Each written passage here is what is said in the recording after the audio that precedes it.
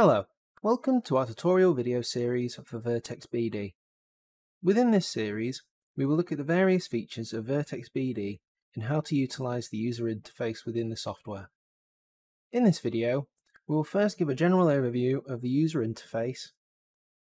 As you can see, when you open up the software, you are greeted with a variety of options from the home screen.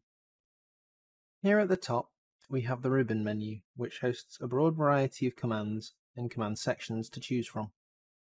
Down the left hand side of the screen, you have our project document browser and model tree, which grants you easy access to various elements of your project and its files. There is the mains workspace to the right of this, which incorporates the 2D and 3D design windows with quick access buttons to easily switch between models and drawing model pairs.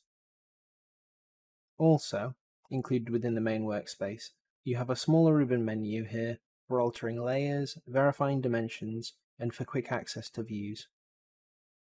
Finally, along the bottom of the screen, we have the taskbar, which details the use of commands and where project coordinates are displayed as well. All of these user interface features mesh together to create a clean, powerful, and professional BIM software perfect for projects big and small. Join us in our next video where we will look into some of the mouse and keyboard functions within Vertex BD. Thanks for watching.